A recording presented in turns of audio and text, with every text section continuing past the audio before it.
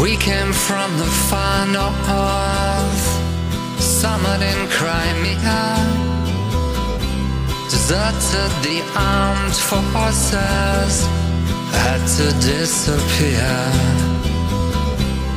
Made it to the free west on a chartered flight, so we could see what we trained to fight. We were in London. Let's